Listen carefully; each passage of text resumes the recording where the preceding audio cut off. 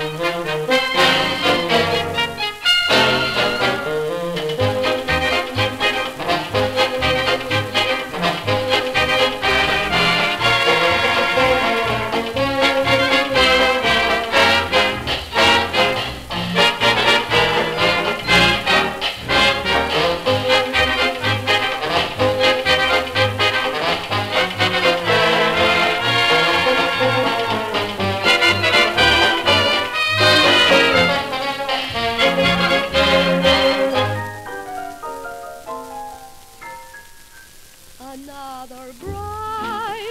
another June, another sunny honeymoon, another season, another reason for making whoopee.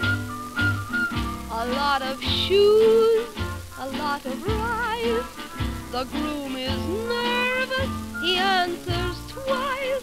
It's really killing that he's so willing to make whoopee.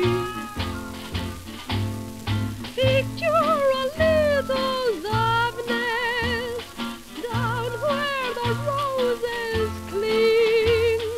Picture that same sweet loveness. Think what a year can bring. He's washing dishes and baby clothes. He's so ambitious, sews. And don't forget, folks, that's what you get, folks, for making whoopee.